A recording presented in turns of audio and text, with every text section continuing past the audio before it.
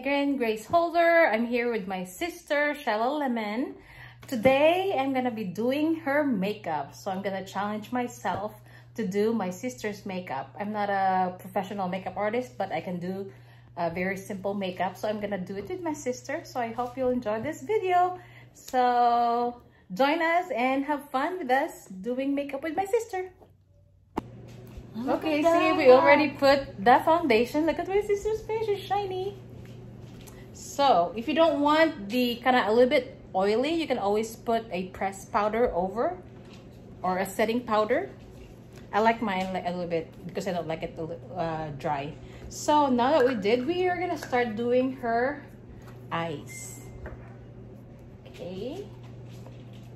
So, no. Um, I don't have an eyeliner, but I use my um, my Lime Life. Used to be Lime Limelight, but I'm using my Lime Life by Alcone. Um, what is this eyeshadow for my eyeliner? I'll just put it at the top. She has a beautiful eye. She doesn't have like a very Asian eyes looking like mine, so I don't need to put a lot of uh, product on her eyes. She doesn't have that look tired looking eyes like mine.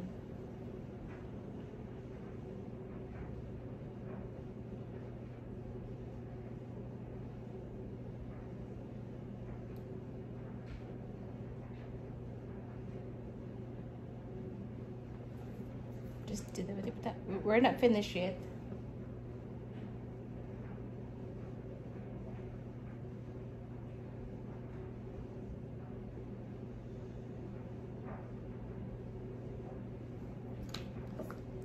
And I'm just gonna even it out para hindi para hindi uh, ano mukhang smudgy ang ano niya i-even ta lang even lang natin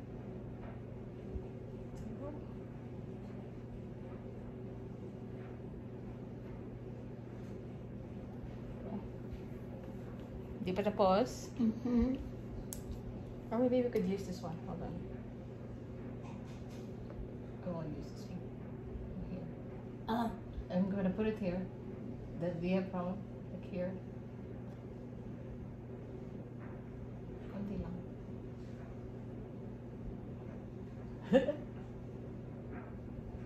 Para mag-open up lang yung beautiful eyes mo. Ano ba yun? Ano ba mga ideas lahat? Like lang. Mm. Na. Tapos, cool we will do some a, light, a very light um, what is this a very light eyeshadow so we will prime it with a lighter shade here all over the eyes the eye all over the eyelid so those who yung ano yung mga marunong mag-makeup ha you can always uh, share your comments and your suggestion how to do makeup but this is the way I do it. So everybody has their own preference depende kung anong shape ng eyes nyo. And then after I did the light one, I'm going to put the, a little bit, uh, like a little shade here, like a beige, maybe like a pink shade. I'm only using one brush because I don't have any other brushes. So, I'll just do that on the crease of her eyes. Yung crease ng eyes ng sister ko. Just go around, just go back and forth there until you spread it. So, I'm I think I'm probably gonna do a little bit smoky eyes on her para magsaya at maganda. So ito, guys, this is very super pigmented uh, makeup. So I always tap, tap, tap just to release some of the excess kasi dadami, kasi super pigmented. Ito yung Lime Light, Lime Life by Alcon.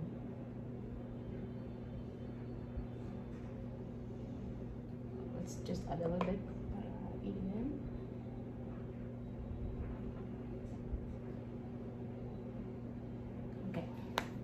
So what we do is we just, you know, brush it para mag-even. Okay, and then, gagawa ako ng konting smoky eyes lang sa kanya.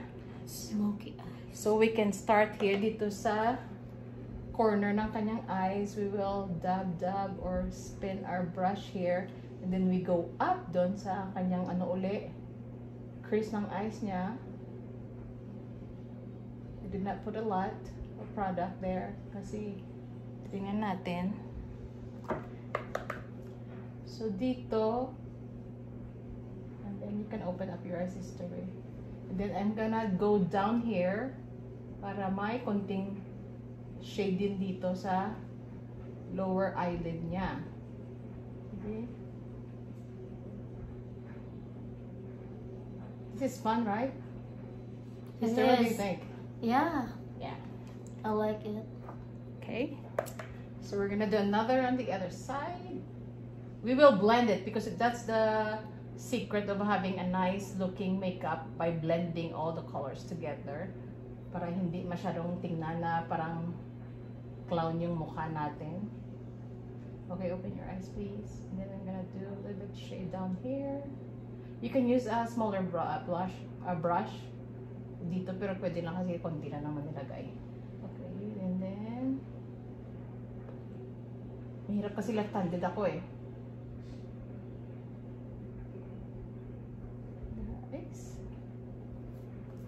Okay. I'll just blend, blend, blend again. Nag-oily ng ano, yung face ko. Kasi sa light. Ginit naglay, lagi lang light. Mhm. So, blend, blend, blend. Tapos, I'm going to use a highlighter sa eyes niya. It's hard because I don't have a small brush. So, I'm gonna close your eyes, sister. I'm gonna put it at the uh, uh, yung sa pinakataas ng eyelid mo dito, oh. Para may highlight ng konti yung Yan. Oh, beautiful. Tingnan nyo guys. So, you will put a highlight here.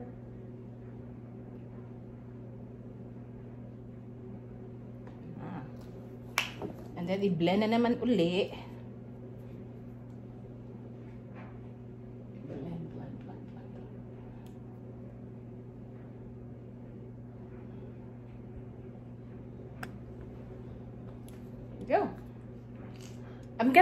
Do her eyebrow because I think she has a nice eyebrow. I don't need to have her Yeah, eyebrow. may eyebrow. Medyo Yeah, may ano lang, may mga kalat-kalat lang. She can do it. She can Yeah, it. ako mahilig But she doesn't really need an eyebrow because she has more eyebrow than me. I don't have eyebrow. I, I don't even, I hardly pluck or, you know, I don't shave or anything my eyebrow, but I don't have eyebrow, so I have to do something with my eyebrow. But hers, I think her eyebrow is fine. fine. So we're just gonna do, I don't have a, we don't have a, um, lashes curler. So it's okay. This will do. I have this i think this is a what is this brand? Thrive. I got this online. Um this is supposed to be a like a, a 3d mascara. So it will like make your uh, eyelashes looks longer and fuller. So don't do it. Just yeah just do this sister Lalo pa siyang gaganda nito after nito. Pause na. Na. Okay. Okay. Edit mo na. Dito. Naglaba. Oh, humaba pa yung ano niya, oh. Yung eyelashes ng sister. Mabuti sana kung may curler tayo kasi wala lang dito eh. Do you have curler? Yeah. Sige na lang, open na Okay na. So, humaba pa yung ano niya. Oo, nagabahaba. Yung Yung, lashes difference niya. sa ikaw. Yeah, you can tell the difference, guys. Tingnan nyo. You do it closer. See, nag-open up yung eyes niya. Yes, lumaki yung eyes ko. Parang lumaki pa yung eyes niya. Diba? So, lagay natin sa kabila.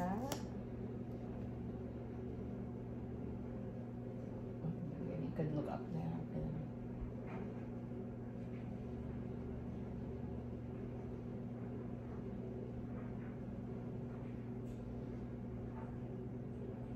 Ay, naglakta. Ay, kumalat. Sandali. Don't close your eyes. Just, ano.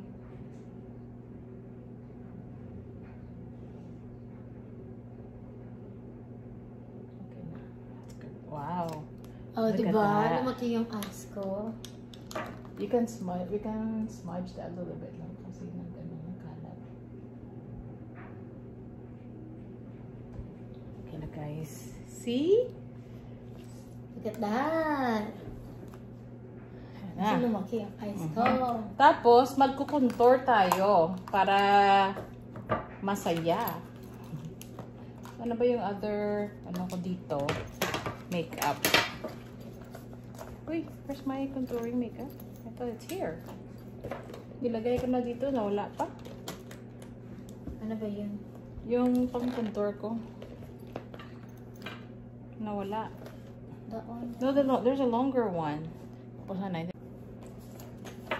Okay guys, we will do some contouring para mag maglumiit pa yung face ng sister ko. She has a cute face but um mag-contour-contour tayo. So I'm gonna be using this bronzer here. Ito din yung Limelight by Alcon.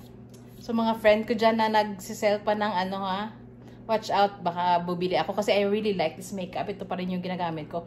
Medyo old na to pero it's still not expired. So we're gonna do some contouring. So dito, oh, sa ilalim, next to your cheekbone, dyan ka magkukontour. My sister has a nice, ano na lang, shapes ng face niya. So, oh.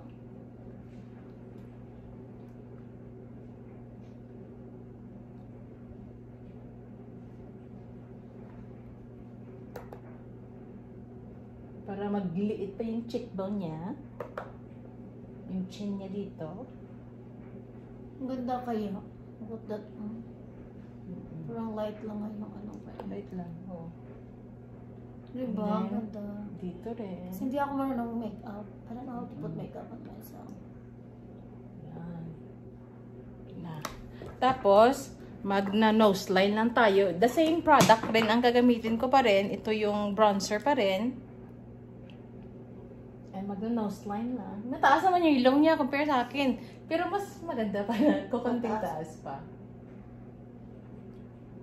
Kap- Tapos light lang to eh. Hindi lang guys, I have to cover the camera so I could put this right.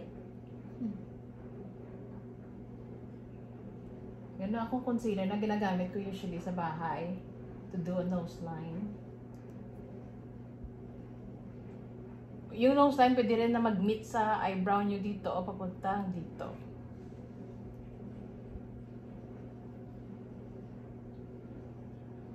Yan. Yan. Ang ganda-ganda. So, para hindi lang masyadong naibiblend ko lang ng aking finger. Oh my gosh, look at Ah. that. And then, I will put a highlighter sa nose ng sister ko. You can use your finger. You can use a brush. It's okay. Hindi siya Rudolph the red nose, but Rudolph the white nose right there. Yeah, right. And then you can put it here as well. Para at saka kapag para mag-bright yung eyes niya, we can also put an, a teardrop dito. Using our finger, that's okay. But if you don't want to, you want it very, very light, guys, you don't need to put this. But this is just like to highlight her eyes. Para masaya ang eyes. Oh, di ba? Yeah. Oh. And then, we will put a very light foundation. You can use this one. Just light lang. Light, light, light, light, light, light, light. So, you can do apples to apples or you can do ganon. Meron yung pa-apples to apples. Dito lang sa cheek lang. Kung gusto niyo na pahaba, ganyan ninyo. Ganyan. There you go. Very light lang. Simpleng makeup lang.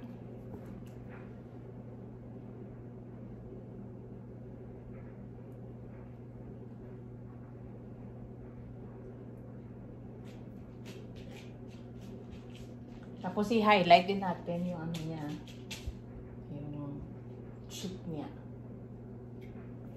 So we will also use our highlighter para ma-highlight yung ma-emphasize talaga yung ano niya. Dito, oh, lagay natin at the top. Ito sa ba- babaw ng cheekbone, lagay natin yung highlighter. Pero kung gagawin, kung simple-simple lang, you don't need to put a highlighter. Pero mas maganda may highlight. Yan. Then you can put some in here too. Para Done. Ating mo, ganda na. Wala, hindi may nag-smudge sa'yo.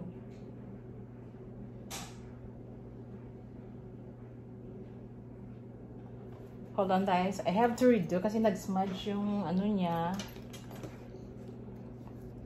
Yung eyeshadow niya. So I'm just gonna redo it a little bit with this brush. Just quick.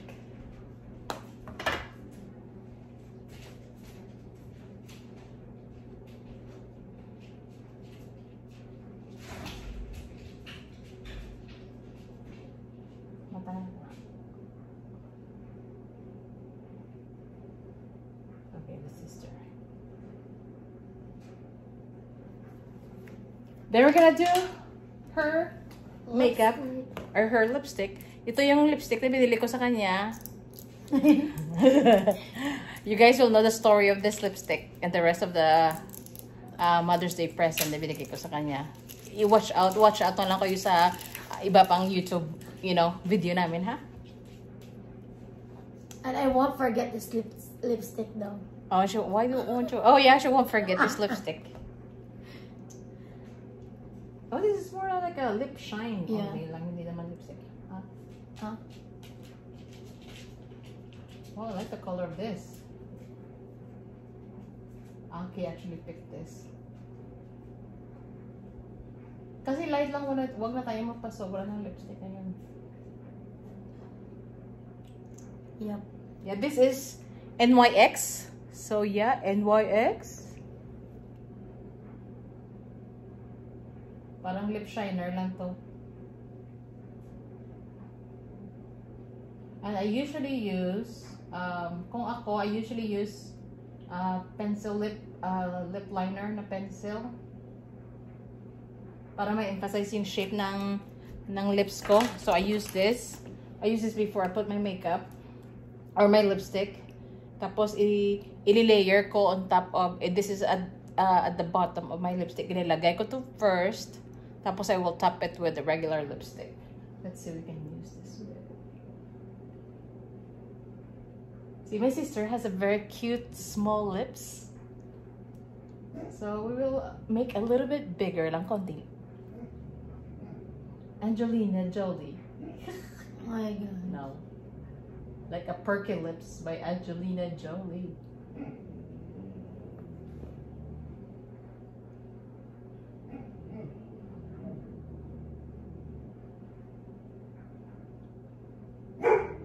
Oh, Odin, our dog.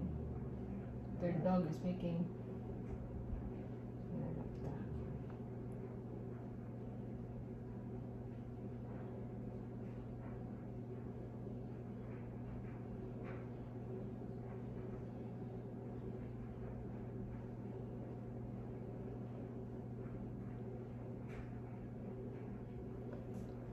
Kumalat. Hindi na sa stop. Kumalat.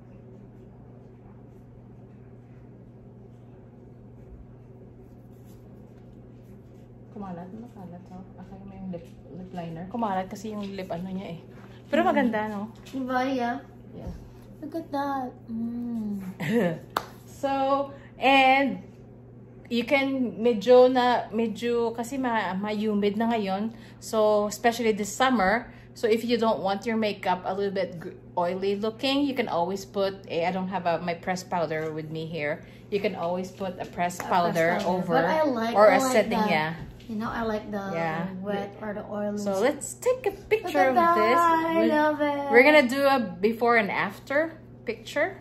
So, so there you go. This is a very simple uh, makeup look, and let me know, guys, if you like this uh, the way I did my sister's makeup, and if you have any suggestions, just comment below, and please do like and subscribe to my uh, YouTube channel, Grace Holder, and to my sisters. Shalom. Yeah, and you guys enjoy and have a great day.